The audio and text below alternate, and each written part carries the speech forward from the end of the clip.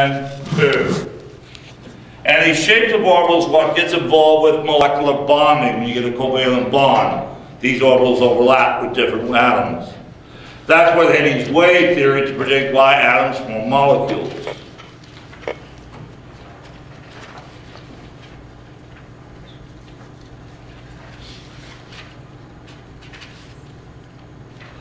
Okay, something funny, the electron has an intrinsic spin, explains why we have magnets for. Anybody like with magnets? Yes. And what happens when you have a piece of iron, when you look at iron in the periodic table, it has one, two, three, four, five, six electrons.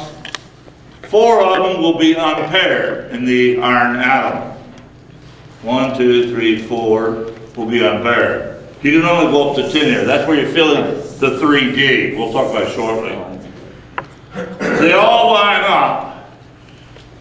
Now, what happens, you got crystals in a magnet. It's usually polycrystalline. So you got many little crystals, if you see. And the iron atoms in one crystal is going this way, the other iron atom's going that way to crystal, the atoms lining up like that in crystal. Usually polycrystalline. And what happens, all their orientation electrons neutralize so it doesn't feel like a magnet, but it will be attracted to a magnet because unpaired electrons. But if you use a very strong magnetic field, you make all those unpaired electrons line their spin up in one direction, what do you get? A M-A-G-N-E-T, magnet. And certain oxides, such as this one of iron and oxygen,